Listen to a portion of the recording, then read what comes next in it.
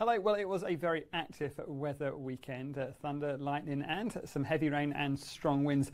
As we go through the rest of today, Monday, and through towards the early hours of Tuesday, we've still got more thunderstorms coming through. These are the lightning strikes seen this morning. We've got more of those coming across. We have a thunderstorm watch out across those western parts of the North Island, and we are still going to find some heavier rainfall as well as we go through the rest of today. So we've still got some watches and warnings in place, not just for the North Island, but also down through parts of Westland as we go through the rest of Tuesday.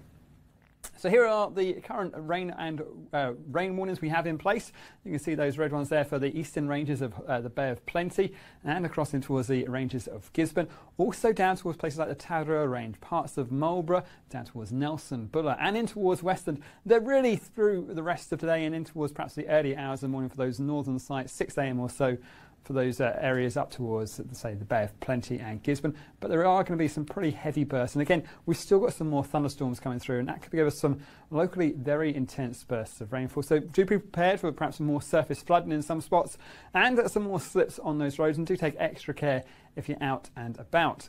The other thing to think about is it's still quite a blustery day. We have still got to watch out across pretty much the entirety of the North Island for some of those stronger gusts of wind as these uh, northwesterly winds run across us.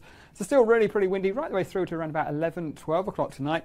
So keep an eye on those severe weather watches and warnings. And as always, you can find all the information at metservice.com.